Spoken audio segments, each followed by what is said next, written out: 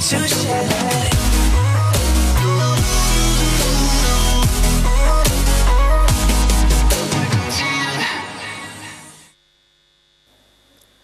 Una partita sola che racchiude però diverse sfide. È il derby notaresco Francavilla, due squadre che sono appaiate al terzo posto nel girone F, che corrono anche per il primato regionale, e due allenatori che si conoscono e si stimano da tempo.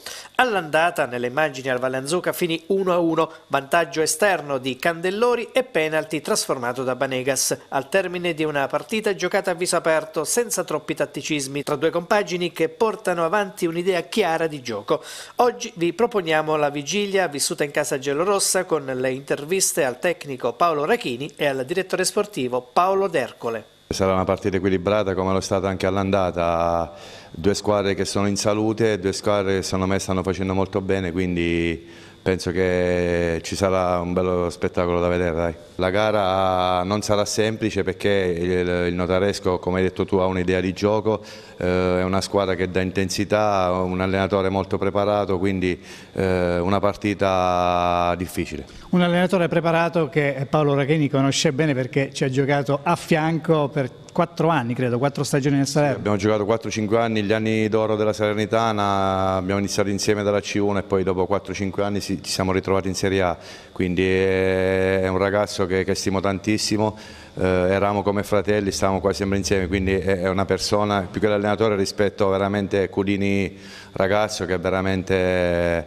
eccezionale, poi come allenatore non lo devo dire io, sono i, i fatti che dimostrano che che Mirko veramente sta facendo qualcosa di importante a San Nicolò. Sarà un Francavilla al gran completo, nel senso è rientrato eh, per uno spicchio di partita domenica scorsa Cosmo Palumbo, uno dei vostri punti fermi, eh, ce la farà giocare dal primo minuto o deve ancora decidere il tecnico? Ma guarda, si stanno allenando bene, quindi vuol dire che eh, mi, mi, stanno mettendo in grosse difficoltà, eh, vengono da, da, infortuni abbastanza lunghi, eh, però ripeto, li sto vedendo bene, quindi eh, ci sono ancora due o tre giorni, però le possibilità ci sono anche di vederla dall'inizio. Ovviamente adesso vediamo questi due allenamenti, lo stesso Cafiero che comunque sono due settimane che si allena con la squadra sta recuperando, eh, quindi vedremo. Ripeto, l'importante è che dopo tanto tempo eh, si recuperano questi pezzi eh, diciamo importanti.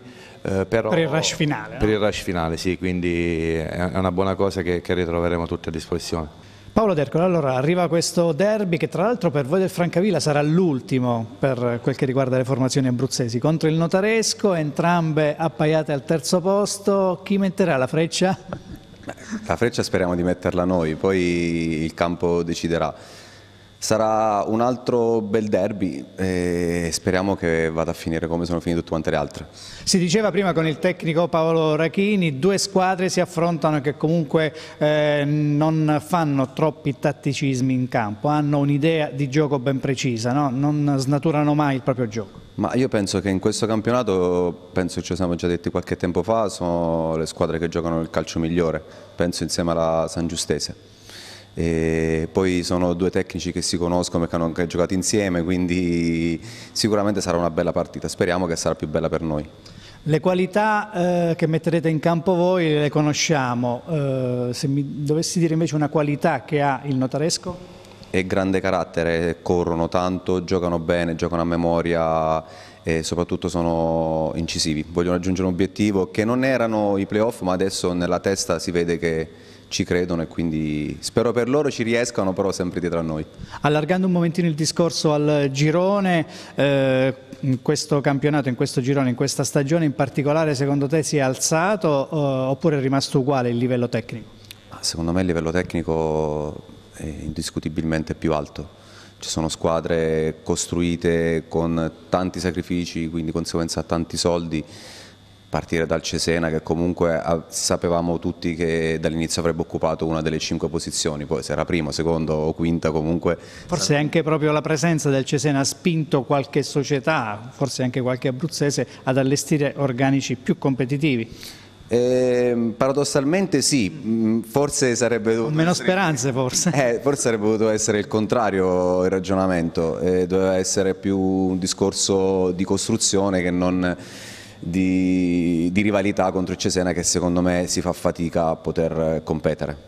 Tornando alla sfida di domenica, eh, anche tu come eh, Paolo Rachini ti attendi eh, una bella partita eh, sotto il profilo proprio del, del gioco e dello spettacolo? Quello per i tifosi sì, io da direttore, da tifoso... Guardi il risultato? Eh, da tifoso Francavilla in questo momento il risultato è, è la cosa migliore. Poi il bel gioco porta a far vedere alle persone o far credere alle persone che c'era anche il bel gioco. Noi abbiamo sempre giocato bene, se qualche volta poi possiamo giocare male e vincere va bene uguale. Davvero l'ultima Paolo perché eh, tu sei direttore sportivo quindi sicuramente in questi ultimi mesi in particolare eh, sarai andato a vedere anche così, qualche giocatore che potrebbe far comodo a questo Francavilla l'anno prossimo. Eh, c'è qualcosa di buono? Hai visto qualcosa di buono in giro? Qualcosa di buono c'è, c'è in tutti i gironi, anche perché la Serie D qualitativamente in certi versi è anche superiore alla Lega Pro che ho visto anche alla Lega Pro. Ci sono dei giocatori che Lega, in D che io metterei in Lega Pro e qualcuno in Lega Pro che metterei più in D. Ci sono specialmente in altri gironi tanti ragazzi interessanti, però anche nel nostro. Però la nostra squadra secondo me ha, ha bisogno di poco per essere quasi perfetta.